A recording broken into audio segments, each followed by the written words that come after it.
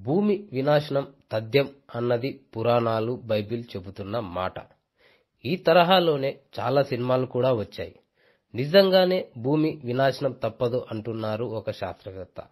నైబ్రు అనే కొత్త గ్రహం వల్ల భూమికి అంతం జరగడం ఖాయమని హెచ్చరిస్తున్నాడు న్యూమరాలజిస్ట్ డేవిడ్ మేడే అనే శాస్త్రవేత్త. అయితే ఈ గ్రహం అతి వేగంగా భూమిని ఢీకొట్టడం వలన భూమి అంతం జరుగుతుందని తాను రాసిన planet X the two thousand seventeen arrival అనే పుస్తకంలో ప్రస్తావించాడు. ఇందుకు సంబంధించిన క్లూస్ ఈజిప్ట్ పిరమిడ్లలోనూ బైబిల్లోనూ లభించినట్లు వివరించాడు. అయితే వచ్చే నెల ఇరవై ఇరవై మూడు తేదీల మధ్య నైబ్రు అనే గ్రహం భూమిని ఢీకొట్టడం జరుగుతుందని తెలిపారు.